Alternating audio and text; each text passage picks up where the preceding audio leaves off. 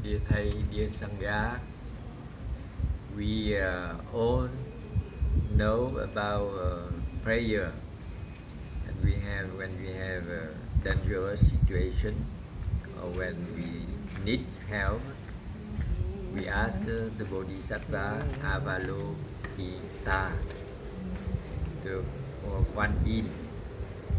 Uh, and in the tradition, Kuan Yin can be a man or woman, uh,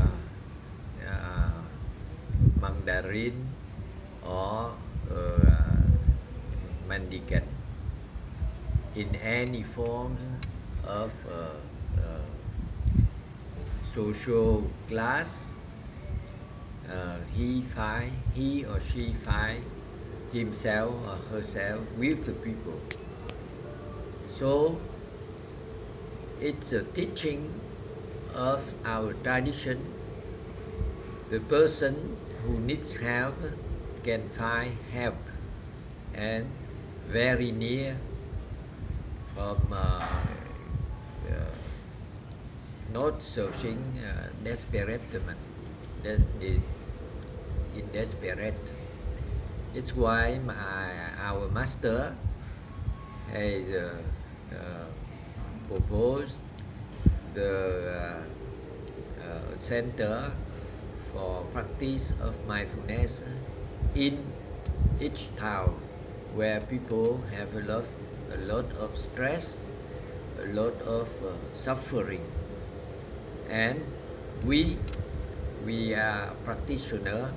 We also need a home to go and to practice whenever we feel the need. And uh, I think that home is uh, the desire of all of us. And now uh, Sangha has a good idea to ask uh, your support to make it a reality. So you can support uh, in many ways, like uh, coming to practice together, like uh, uh, giving your presence, your time, your uh, uh, whatever financial support or spiritual support are welcome.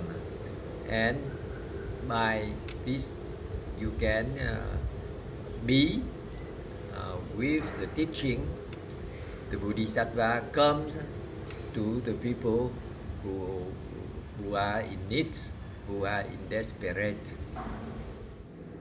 I hope that this beautiful project in Singapore will come to reality very soon thanks to the support of all of you, each uh, practitioner, each uh, member of our Sangha and each uh, person who uh, loves Singapore and who wish uh, the Singaporean can have a better life, a happy life.